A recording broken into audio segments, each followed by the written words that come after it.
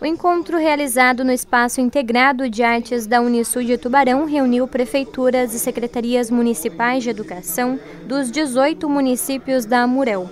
Durante a etapa regional do CONAI 2023-2024, são discutidos eixos importantes da área da educação, principalmente relacionados à construção do novo Plano Nacional de Educação para os próximos 10 anos é importante porque é, é, tratado a educação como um todo, né? desde a educação infantil, ensino fundamental, ensino médio, educação técnica, ensino superior.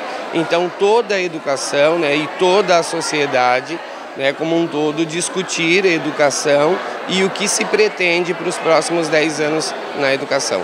Hoje um dos principais pontos do novo plano seria a educação integral.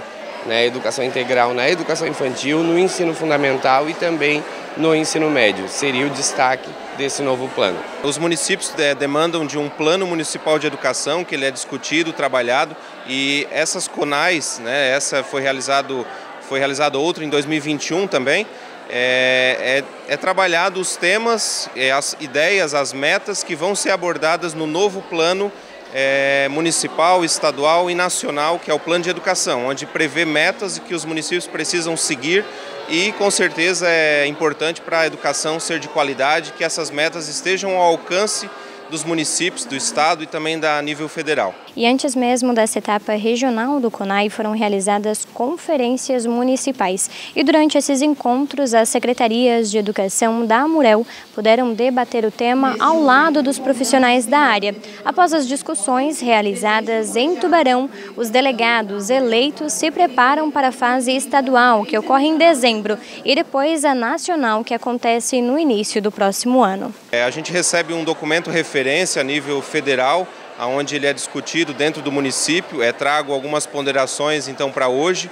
E hoje cada município traz os seus delegados, são nove representantes de cada município da Murel, que é, aqui vão conversar sobre esse documento, é, propor novas situações, é, alterações, e se o grupo concordar que assim é, o documento esteja correto, ele é aprovado e é encaminhado então para a etapa estadual que vai acontecer no início de dezembro.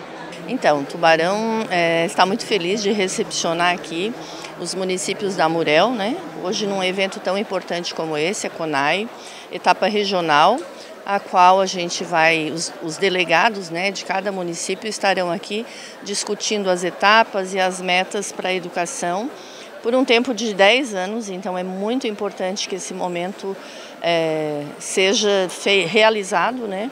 E que todos eles tenham assim uma, um dia inteiro de estudos para realmente pensar no melhor para os nossos estudantes, crianças e para o nosso país, né?